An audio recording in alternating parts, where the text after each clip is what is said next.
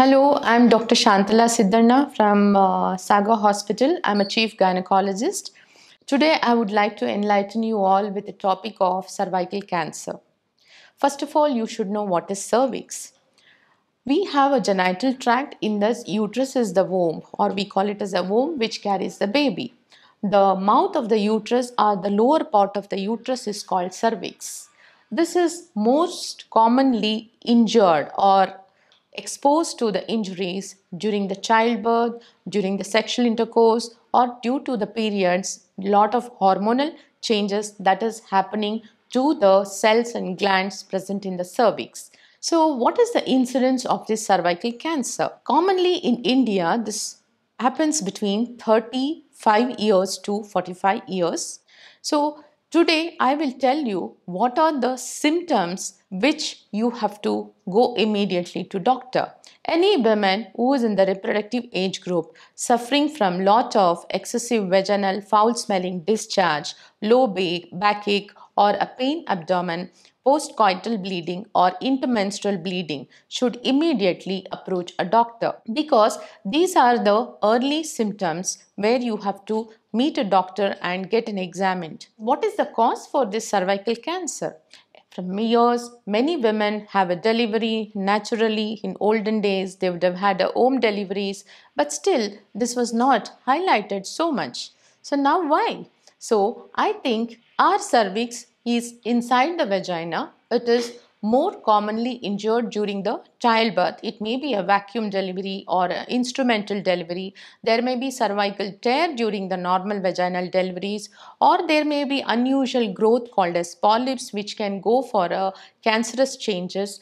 Due to the hormonal variations, the cells keep changing and they undergo metaplastic changes because of the hormonal changes during the periods. Also during the intercourse, the seminal fluid which contains the prostaglandins causes very common injuries to the or insult to the cervical cells. These cells are very sensitive and they can undergo lot of dysplastic or metaplastic changes.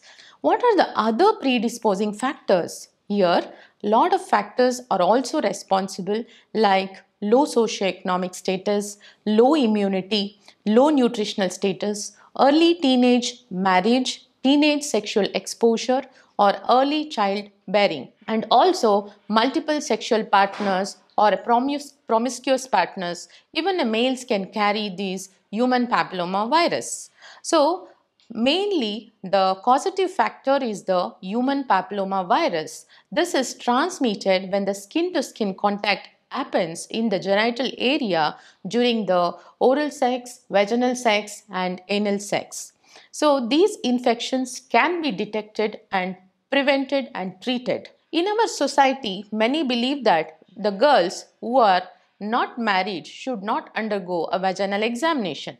But if the girls are true to their conscience and if they are having a multiple sexual partners or if they are sexually exposed, they should themselves go and get a pap smear done without any fear so that we can do prevent this condition. Now in our society, or we are also having or promoting a vaccine which can prevent the deaths from cervical cancer or we can prevent this disease itself by using Gardasil vaccine.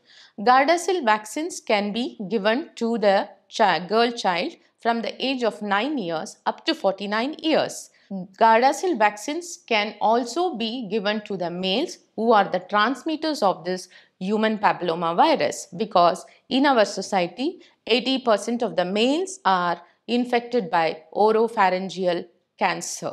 So I feel this Gardasil vaccine is a very important vaccine for everybody. I recommend to all the mothers to take their daughters or the young adults and get this vaccine. So this Gardasil vaccine is very much available in our hospital and this vaccine must be taken under supervision. It is not available on the counter. This is quite expensive you have to come to the hospital under the supervision of the doctors. You have to take these vaccines. Thank you.